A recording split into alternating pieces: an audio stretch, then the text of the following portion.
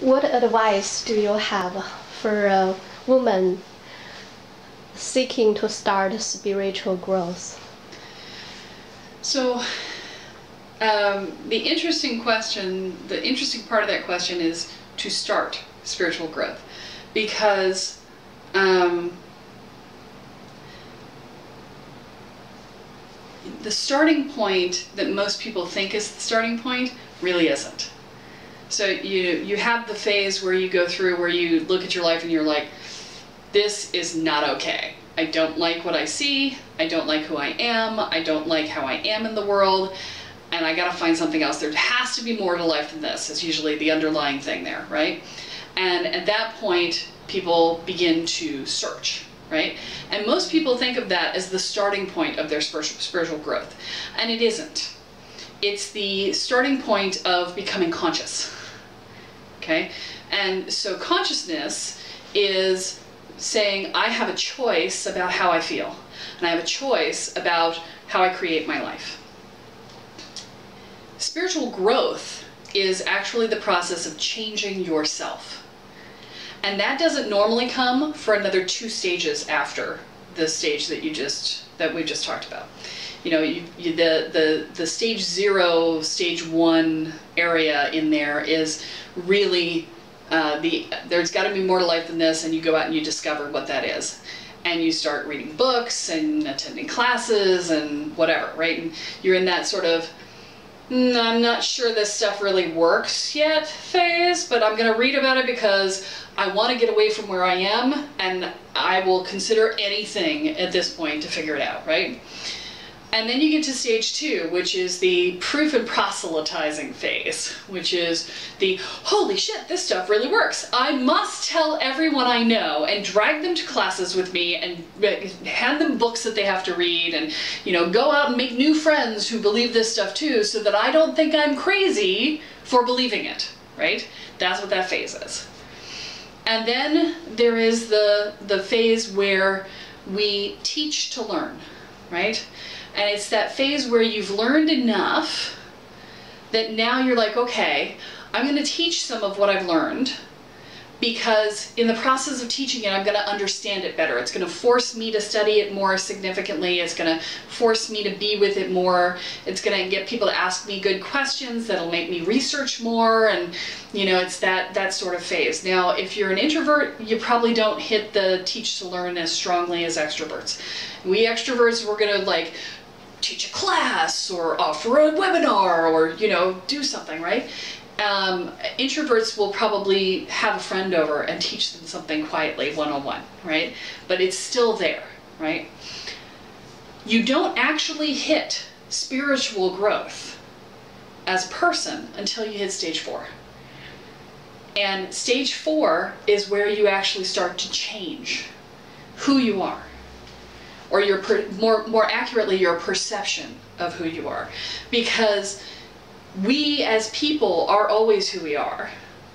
But we have all of these coping mechanisms and neuroses and you know uh, belief structures and whatever, you know, roles that we play and identities that we've taken on to make other people happy and as compensation for what happened in our childhood and, you know, all this stuff that gets layered on top of who we are. So it's really not about changing who you are, it's about changing your perception of who you are. And it's about letting go of all the stuff that is hiding you from the world and from yourself.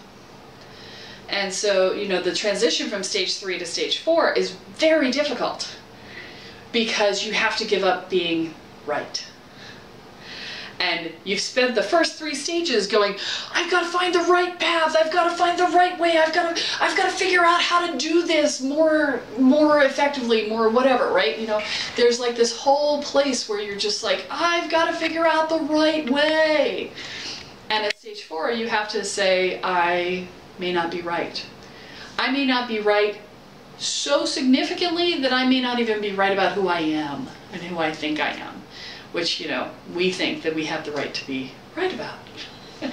and so, you know, in stage three, you learn about letting go of your stories. And you may even begin to work on letting go of some of these stories, right? But you don't really do the identity level story work until you hit stage four. Because stage four, you have to be willing to not be the person you were yesterday, or not be the person you thought you were yesterday, more appropriately, right? And so, you know, starting the spiritual growth process actually doesn't start until you hit stage four. So what what could be the transitioning point from stage three to stage four? How much is what you learn? Uh, it's relevant to decide when and how or whether you transit to stage Every four. transition from one stage to the next comes because there was a moment in time where you got absolute clarity that staying where you are is not okay. Okay. Every single time. And so when you're going from your everyday life to there's got to be more to life than this, you crystallized your discontent, right? You got really clear that you were unhappy and you made a shift to change it, right? In the discovery to the proof and proselytizing phase, it's the, oh my God, this stuff really works. People are going to think I'm insane. I can't let people think I'm crazy, right? So it's like, okay, I, I can't have people thinking I'm crazy. I have to bring them all out so that they're crazy too, right? And that's that crystallization point for that. And then it, it, going into stage three, the crystallization point is, okay, that's great. I'm, I've learned a lot of stuff, but what does it mean? And that's when you start to really, um, that's when people tend to try and put it into context and create a context for themselves. And that's where the, um, the, the classes come from. It's like, oh, I found a meaning for what it is that I've studied. I've found this understanding for what it is that I've studied. And I want to share that with you, right? And so that's, the, it's the putting it in context phase. It's looking for meaning behind all the random knowledge, right? Now, the, the sad part is that when you're in stage three, you still have a belief structure that says that somewhere I'm going to find the magic pill that makes me enlightened, right? And the one of the biggest challenges of getting out of that stage three thinking, because there's so much information out there, so much, right? And you could study for your entire life and never read it all because there's so many different disciplines and religions and practices and mysticisms and you could read it until your eyes bled and you would still never never read it all because there's new stuff being written every day right and so you could stay in stage three your entire life and i've seen people do it i know a lot of people who have done it and that's because they're still looking for the magic pill they're still looking for that one piece of wisdom that's going to take them to that place where they will wake up enlightened. And it's not about waking up enlightened. It's about waking up as yourself. And it, the more attached you are to who you are, the harder it is for you to wake up enlightened. That's the hard part, right? Because you got to give up your belief of who you are. And so, you know, for most people, you don't wake up enlightened. You got to dig through all your crap and figure out what parts of you that you think are you are not really you, and right, and just dig down, dig, dig. dig. I mean, crap. I've been doing this work hardcore, hardcore, for 16 years now, right? Four years ago, I got a really clear message from Spirit. Just be who you are. You want a confusing message from Spirit? Think about it. I'm asking, what is it that I should be doing in the world? How should I be sharing my gifts with the world? And the only message I'm getting in return is just be who you are. Just be who you are. Just be who you are. Be who you are. Every place I went for two years, just be who you are. And I'm like, I'm not freaking Amma. Now, isn't that funny? That was my response. Just be who you are, and I'm like, I'm not Amma. How those two relate, I don't know. because it makes no sense, right? Be who you are, but be. uh, But I'm in my head that meant be Amma, and Amma uh, Chi, who is the hugging saint, right? Um, in my head, it meant being Amma. It's a, you know because in my head it translated to get paid for who you are, and I'm like, how am I supposed to get paid for just being cool? You know, um, people like to be around me. People like to hang with me.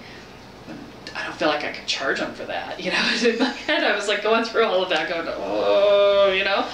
Um, and you know, here it is, four years later, and I'm fi- I finally get it.